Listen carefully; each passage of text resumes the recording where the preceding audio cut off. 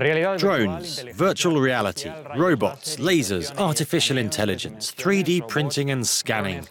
How can all these new technologies help design the buildings of tomorrow? In search of answers, architects have teamed up with engineers, and their findings have been shared at this exhibition here in the capital of Denmark.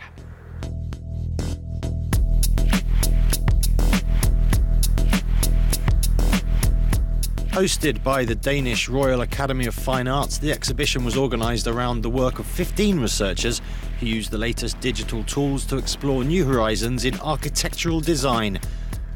Models were developed using materials such as clay, filaments, concrete, or wood. Among the new ideas on show, structural platforms in carbon and glass fibres, wound by robots able to generate complex, resilient, multifunctional geometries.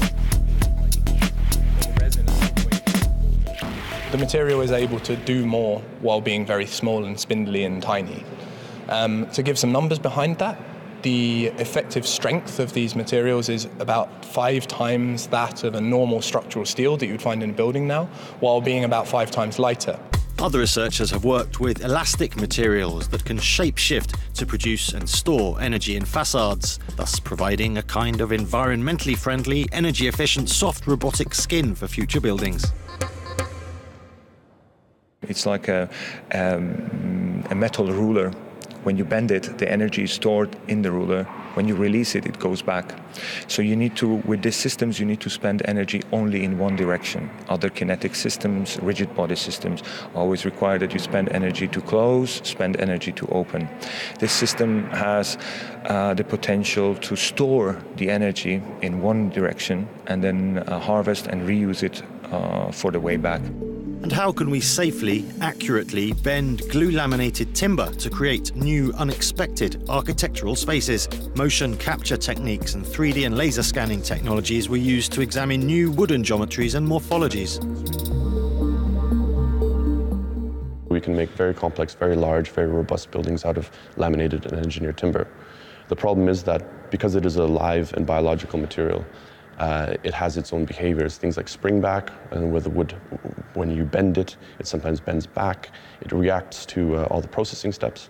Uh, so we need ways to keep track of this, because if you can't produce accurately what you want to, then it becomes very difficult and very expensive very quickly. So by introducing 3D scanning into the process, we can have a closer connection to what the material is actually doing while we process it. The exhibition was the fruit of a European research project aimed at linking simulation, materials, and designs to imagine a future where more and more buildings will need to be built with fewer and fewer materials and in sustainable ways. Building smarter with less means uh, material optimization. It means we, we are clever about how we use materials and that we can build lighter. And lighter doesn't only mean less materials as in a smaller piece of wood, but also uh, lighter in forms of less transport, uh, less weight, um, and less impact on our environment. And that's, uh, that's, these are just necessary paradigms for the future. Researchers say many of these solutions could be integrated into real buildings within five years.